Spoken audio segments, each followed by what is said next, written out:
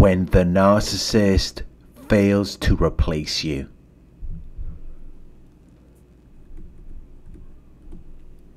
You were never exclusive to the narcissist. It was never just you and them. You were never alone with them. There were always other people involved because they're always on the hunt for new supply. But they don't always find suitable sources. Sometimes they get it wrong. And there are ways to tell if they have picked someone who is no good for them. There are ways to tell if they have failed to replace you. The narcissist may have been high maintenance when they were with you.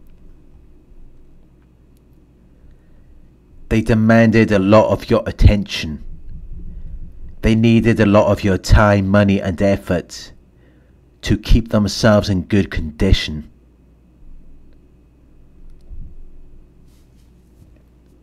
So when they fail to find a suitable replacement for you, you will begin to see that they have let themselves go they become careless in their habits and appearance because they pay less attention to themselves than they used to.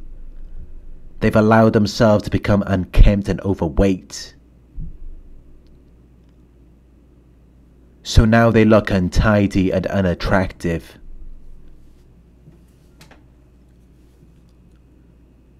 They look like something the cat dragged in.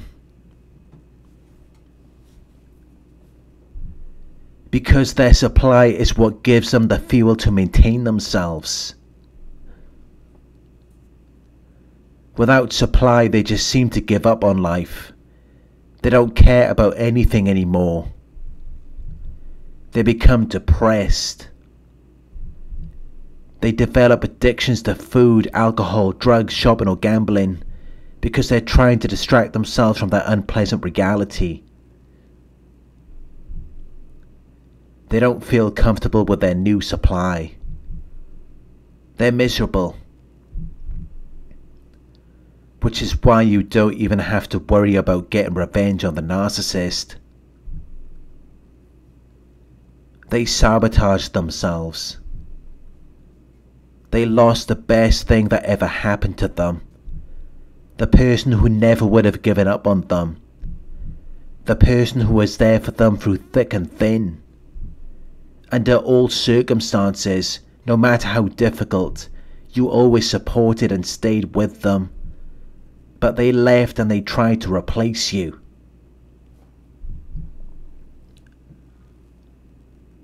And most often, they end up with someone who is already in a relationship. And they're just their side chick. They're just their bit on the side.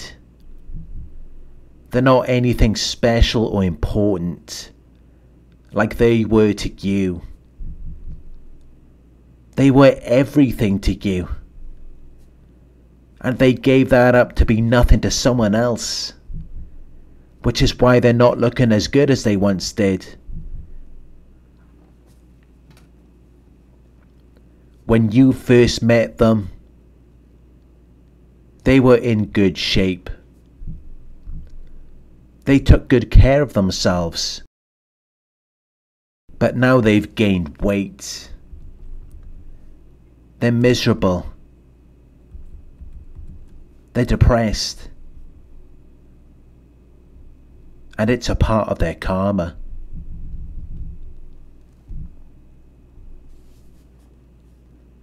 You can't treat people like garbage and then expect to get away with it. But you will notice that everyone begins to turn against you. Suddenly, their family members are starting to look really mad. They will start to treat you differently. Because the narcissist is going through something. The narcissist is suffering. And they're blaming you for everything that they caused because they don't take accountability for anything. they don't admit their faults. So they will play the victim. They will lie. They will make false accusations. They will tell their family members that you ruined their life. They will say that you prevented them from doing other things. And even though they've already done this to other people before you, their family will still support their false narrative. They will still enable the narcissist behavior. They won't hold the narcissist accountable for their actions because they're just as toxic as the narcissist. They're of like kind. Which is why they will eventually begin to destabilize because they're surrounded by negative, toxic people. And they need some positivity and light to balance out the darkness. But sometimes the people they drag into their lives are just as negative and toxic as they are. So when they decided to bail on you, they lost all of the positivity and light that they were once embraced with, and now they're entering a downward spiral of misery and self destruction. They're beginning to sabotage themselves. They're depressed. But they don't want you to see it. They don't want you to know about it. So they will stop talking to you. They will block you on social media. Because they're ashamed of what they've become.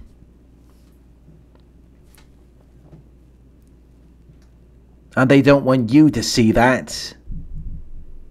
So they will ghost you. Because they already know they're no good. They already know that they're toxic. But sometimes they will post their supply on social media in an effort to distract themselves from their intense dislike and disgust for themselves even though their new supply is not even remotely of the same quality as you. But the more they try to showcase their supply to you, it should only reveal to you how miserable they actually are. It should tell you that they have failed to replace you.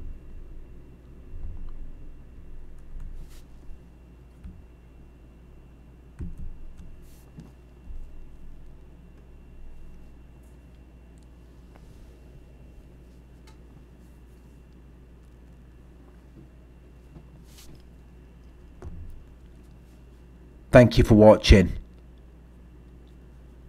I hope this video will resonate with you. Please like, comment, share and subscribe. If you would like to donate, my PayPal link is in the video description. Coaching inquiries, you can email me at coaching at narcsurvivor.co.uk Thank you for watching and I'll talk to you soon.